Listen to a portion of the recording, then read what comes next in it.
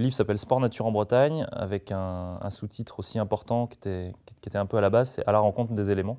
Montrer les, la pratique des sports nature en Bretagne, que ce soit sur mer, sur terre, dans les airs. 12 sports parmi, parmi les principaux sports nature, et, ceux aussi qui partagent une même euh, philosophie, un même état d'esprit. On s'est rendu compte euh, qu'il y avait vraiment une transversalité entre tous ces sports-là, et qu'il y avait euh, un, même, un même état d'esprit. Euh, avec ce gros point commun, bah, c'est aimer être dehors et de se, confronter aux éléments. C'était à la fois de, présenter plusieurs disciplines, mais aussi de présenter euh, toute la diversité de, la Bretagne à travers ces disciplines-là. Donc d'avoir une, autre vision de la Bretagne à travers les sports nature. On voulait couvrir le sport en lui-même, c'est-à-dire l'action. Donc euh, c'est pour ça qu'il y a des photos, on, rentre dans l'action, c'est-à-dire on, on, travaille à l'ultra grand angle, on est très très près des sportifs sur certaines prises de vue. Euh, voilà, on a photographié avec des, caissons sous-marins, par exemple. On voulait aussi replacer le sportif dans, ce qu'il affectionne, dans, l'environnement.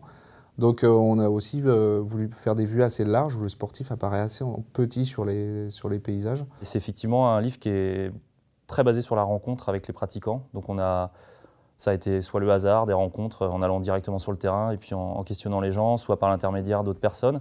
Donc on a rencontré des gens qui sont, euh, pour certains, interviewés d'ailleurs dans, l'ouvrage. C'était aussi une volonté de, faire témoigner d'autres personnes, d'avoir une autre vision que, la nôtre.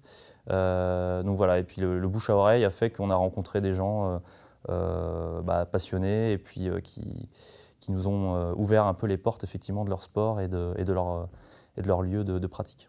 Ça s'adresse aux, sportifs, évidemment, qui pratiquent ces sports-là, à ceux qui veulent le pratiquer pour montrer un peu l'état d'esprit et puis euh, l'éventail des possibilités.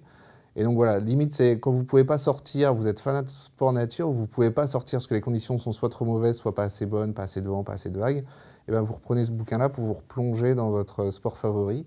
Et euh, voilà, c'est un bouquin à voir au coin du feu euh, quand on ne peut pas sortir. Je travaille justement pour une association où on essaie de, association de protection de la nature, où on est parfois confronté à des, à des, problématiques posées par les sports nature. Alors, euh, est-ce que les sports nature dérangent la faune, dérangent la flore? Donc voilà, c'est quelque chose qui, qui est en train vraiment de se développer, les sports nature, et donc du coup, il faut effectivement accompagner ça. Et j'espère que ce livre-là, justement, euh, permettra de, un partage de l'espace plus, plus serein.